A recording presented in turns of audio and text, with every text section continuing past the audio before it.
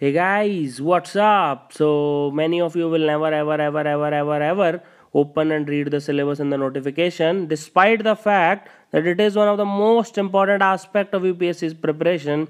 So I thought why don't I share the syllabus with you. So UPSC CSE syllabus I'll be talking about basic examination and this is presented by me Roman Saini. So this is something about me and I have made lots of courses. There are like more than 3000 lessons on Unacademy so you can watch all the lessons specifically if you are preparing for upsc ssc cat gate etc and and you can also learn how to like become good at english. So you can follow me on Unacademy on this link and like improving your willpower and whatever.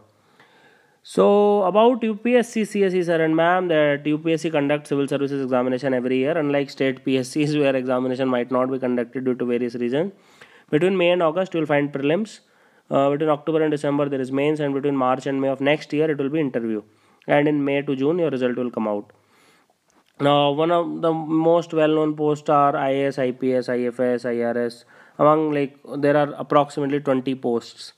Now exam is conducted into two stages. One is civil services preliminary examination which is objective type examination meaning by it is an MCQ based examination where you need to get like like select the right answer and the second stage there is no third stage. Second stage is main examination.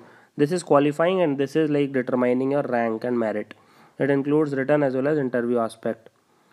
Now civil services preliminary examination which is objective type is it basically contains two papers. One is paper 1 another is paper 2 and it contains maximum of 400 marks okay? So paper 1 contains 200 marks paper 2 contains 200 marks so it will never ever determine the final order of merit. So there is no point of studying too much for prelims very very focused. It is absolutely qualifying in nature. No matter if you get 400 out of 400 still you will be equal among the 15000 people who appear for prelims. Now paper 2 is further qualifying in the qualifying.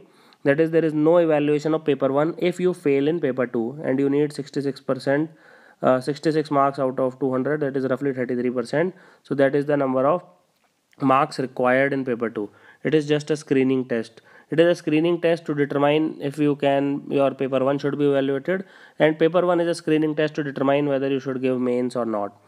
Now those eligible approximately 11 lakh 0.5 people 11.5 lakh people filled the form this year and only 15445 will be giving mains. So and out of 7 lakh people who appeared in prelims so you can imagine the cutoff will be approximately 111 112 now CSE prelims paper 1 it is the syllabus. This is very very important. Can you see how the syllabus starts? It starts with current events of national and international importance.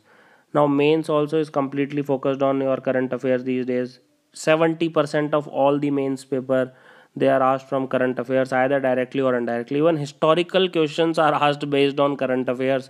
For example if it is 50th anniversary of non-aligned movement you might see a question on that. So it is where becomes very important that you follow daily summary of hindu which we provide you daily. And pib also we are starting soon. You need to focus. If you if if summaries are provided like for example kurukshetra otherwise it's not worth it to read it. But if a summary is provided in 20 minutes or 30 minutes then it becomes very good something like that.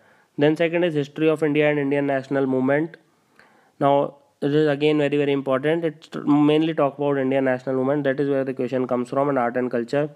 Then india and the world geography and like questions appear both from indian and world geography. Physical social economic geography of india and the world all of that are asked. Now indian polity and governance it includes your constitution political system Panchayati Raj is specifically mentioned. That is why you will see it is very important both for prelims and mains perspective. Public policies, lot of question come from government policies, government schemes. Direct questions will be there in the examination. Rights issue, again like very very current affairs focus. Nothing to be coming from static portion. Then let's further discuss economic and social development, sustainable development, poverty, inclusion, demographics, social sector initiatives. Again as you can see a social sector initiative word is like specifically mentioned. Economics is specifically mentioned. So you will see questions coming from this. Social sector initiative this year approximately 5 to 10 schemes were asked. Okay? Then it becomes very very important that you focus on current affairs. General issues and on environmental ecology. 100% guaranteed 20 questions will come always from this. Biodiversity climate change very very very important that do not require subject specialization. You do, should not do phd in that. Then general science like basic ncerts up to 12th class. Mostly up to 10th class something up to 12th class it will suffice. Now csc paper 2 syllabus it includes comprehension reading comprehension. Um, half of the paper comes from this approximately one third to half. Then interpersonal skills including communication skills. Then logical reasoning analytical ability you'll find five questions sometimes. Decision making sometimes they ask but they did not ask this time and problem solving. General mental ability like basic one or two question here and there. Now basic numeracy it includes class 10th level. Again can you read class 10th level english language comprehensive skills? Always they ask up to class 10th level. Numbers relations order of magnitude. Now data interpretation also it is not cat level very high fi no it is just basic class 10th level. Charts graphs tables data sufficiency. All this is just merely up to class 10th level. So you need to focus on the fact that that it is only up to class 7th level. So even if you are very weak you should not start reading 11th and 12th class ncerts just go through previous year question paper you will qualify. Now civil services main examination it includes written and interview. So for a total of 2025 marks it is there 7 paper. Does not require any specialized study. Again it is very very generic. Half of the things will come from hindu yojana pib etc now it will test candidates basic understanding of all the relevant issues ability to analyze and take a view on conflicting socio-economic goals objectives and demands. This is very important. What is your opinion? What is your view? How do you analyze it? And what is your view? Okay so main examination it consists of two qualifying papers. That is one is english compulsorily other is indian language. Usually 50% of people take hindi but people take tamil marathi etc now seven papers are considered for merit now qualifying papers are 300 marks each like English, Hindi, Telugu, Tamil, Kannada and with 25% marks eligible for qualification. So it means you need to have at least 75 75 marks. 10% of the people who appear for mains fail in this examination. Now there are two qualifying papers. Paper 1 on Indian languages I have already spoken. The scheduled Indian languages and paper B on English. Now mains examination like i'll just go through the brief in this particular lesson. We'll be talking about brief but it is huge syllabus huge. And in next part i'll be talking about that. And then we will be talking about 65th annual report which president submits uh, upsc submits to president. Now papers which are counted for merit with syllabus it include paper 1 includes essay paper 2 includes general studies part 1 so for example indian heritage and culture history and geography of the world and society. So it includes history and geography basically. That's all and art and culture now paper 3 which is technically general studies paper 2 uh, it includes governance constitution polity social justice and international relation ir and polity and governance basically very very important highly current uh, focused very very current focused 100% of the international relations are asked from current affairs hardly any question i have seen in last 3 4 years which is from static portion even like when ik gujral sir died that is why the question like was uh, surrounding that.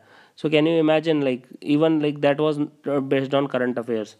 Paper 4 general studies paper 3 so it includes technology economic development biodiversity environment security disaster management etc then the syllabus continues like paper 5 which includes general studies paper 4 that is ethics integrity and aptitude paper 6 it includes optional subject paper 1 which whichever optional subject you choose it may be there may not be there. There is only one optional but there are two paper for optional.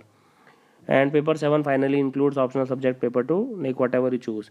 So like don't start your reading optional right now. It may not be there next year but anyway let's not jump the gun and tell april like don't focus that much but let's see where it goes.